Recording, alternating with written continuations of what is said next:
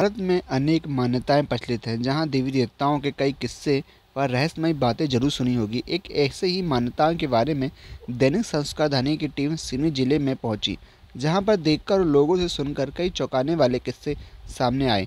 जिला जबलपुर से 80 किलोमीटर की दूरी पर वसे व सिवनी विकासखंड धंधोड़ा से पश्चिम दिशा में दो किलोमीटर की दूरी पर एक घाटी पार करने पर लगभग रिछारी बाबा का मंदिर स्थित है।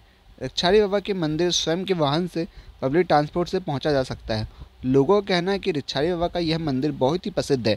ऐतिहासिक एवं धार्मिक मंदिर है। यहाँ पर दीपावली के पंद्रह दिन के का बहुत बड़ा मेला भरता है। मेले में बहुत दूर दूर से लोग आते हैं, जिनकी मन्नतें पूरी जाती है। वह लोग मेला स्थल पर भंडारा भी करते हैं। मंदिर में काले पत्थर की, भगवान विष्णु की अष्टभुजी मूर्ति स्थापित है और मंदिर के आसपास अन्य मूर्तियाँ भी स्थापित है। यह मंदिर पुरातत्व के महत्व को दर्शाता है। मूर्तियाँ एवं अन्य अवशेष लगभग दसवीं शताब्दी के ऐसे पुरातत्व विभाग द्वारा वहाँ पर लिखा गया है। मंदिर के आसपास एक छोटा सा तालाब भी है जिसे लोग स्नान करते हैं। इसके बाद मंदिर में पूजा करते हैं। कहा जाता है कि मूर्तियाँ व अन्य अवशेष मंदिर के पास स्थित तालाब से खुदाई में प्राप्त हुए थे जिसे ग्रामीणों द्वारा वही स्थापित कर मंदिर बना दिया गया यह मंदिर आस्था का केंद्र है। संस्कार धानी टुडे से ये मंदिर कितने साल पुराना है? अच्छा अच्छा अच्छा। तो यहाँ सन में बना है? पचहत्तर छिहत्तर में बना है। पूछो क्या मान्यता है? इसकी मान्यता क्या क्या है? मंदिर। मंदिर में ये है मानता है कि अपने जो कुछ आओ करो तो अपना प्रार्थना जिसको जो दुख है तो अपने सुनाते हैं हो। कितने दिन का रहता होगा इसका? कई कई मंदिरों का चालीस दिन का रहता है। तो ये मंदिर का कितने दिन का रहती मान्यता रहती है? वो तो चलते रहता है आने जाने में अपनी बोलते रहते एक अंदाज?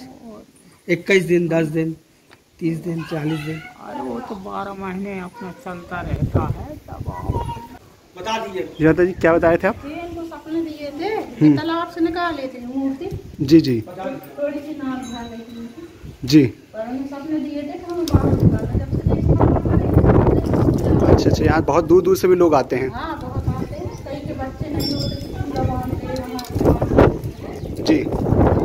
अच्छा अच्छा। तो अच्छा आप कहाँ से आए हैं? हैं।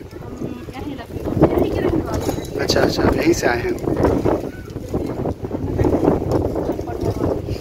अच्छा अच्छा पहले हमने चीज़ करवा देते हम कहीं छाया थे बच्चे लड़की लड़की थी हमारे पास बारह के यहाँ से करना अच्छा अच्छा। तो यहाँ पे नहीं कि लोगों को यही मान्यता करके आते हैं कि